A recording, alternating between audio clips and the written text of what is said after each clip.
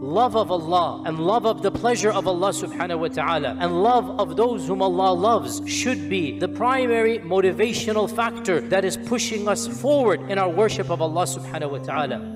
Allah subhanahu wa ta'ala mentions the believers in the Quran and Allah describes the highest of the high. Allah describes the elite by saying what? مَن يَرْتَدَّ مِنْكُمْ عَنْ دِينِهِ فَسَوْفَ يَأْتِ اللَّهُ بِقَوْمٍ يُحِبُّهُمْ وَيُحِبُّونَهُ Whoever wants to turn away from the religion, Allah doesn't care. Allah will bring a new generation. They shall love Allah and Allah shall love them. And Allah says with regards to the believers, وَالَّذِينَ آمَنُوا أَشَدُّ حُبًّا لِلَّهِ Those who have iman, their love for Allah is more more than the love of the pagans for their false gods. There is no comparison. The believers love Allah with more love than any other false religion. And that is why the Prophet ﷺ would regularly make dua to Allah. Allahumma inni as'aluka hubbak. O oh Allah, I ask for your love. وَحُبَّ مَنْ يُحِبُّكَ And the love of those who love you. وَحُبَّ عَمَلٍ يُقَرِّبُنَا إِلَى حُبِّكَ And the love of good deeds that allows me to come close to your love. Therefore, a sign of Iman is you enjoy worshipping Allah subhanahu wa ta'ala. You love the good deeds that bring you closer to Allah subhanahu wa ta'ala.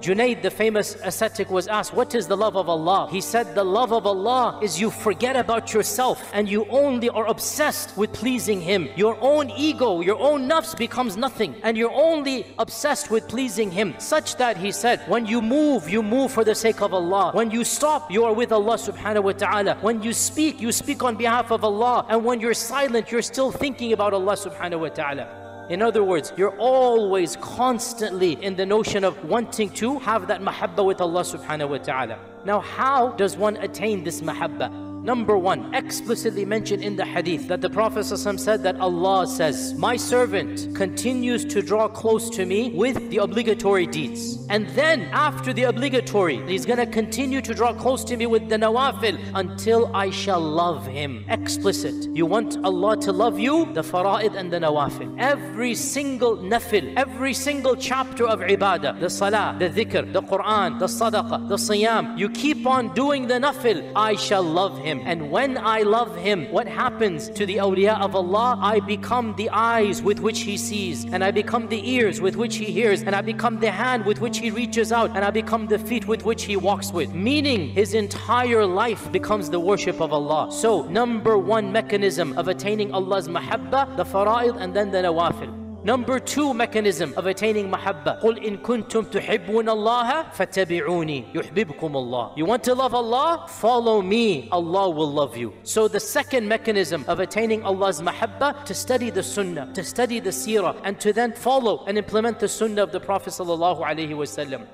The third mechanism of attaining Allah's mahabbah is the frequent recitation of the Quran and the constant dhikr of Allah subhanahu wa ta'ala. There is no mahabbah of Allah without constant dhikr. Dhikr is the backbone. Dhikr is one of the main mechanisms of attaining the mahabbah of Allah and the Quran is the ultimate dhikr. The fourth mechanism of attaining Allah's mahabba is to study the names and attributes of Allah. Because when you don't know who is Allah, how will you love Allah? Having a relationship with these names and attributes, using the names and attributes in your du'as, Ghafoor, Ghaffar, Rahman, Rahim, Tawwab, Malik, Quddus, know these names, understand these names, and your love of Allah will increase. The fifth way of increasing your mahabba of Allah subhanahu wa ta'ala is to spend quality time with Allah. How can you spend quality time with Allah? Ibn al-Qayyim says one of the strongest ways of showing your love to Allah is by secluding yourself and having private conversations with Him when He has told you to have those conversations, meaning tahajjud and qiyamul layl. To cut yourself off from society in the middle of the night and you open up your heart to Allah and you pray tahajjud and you read Quran. This is one of the ways you're going to increase your muhabba.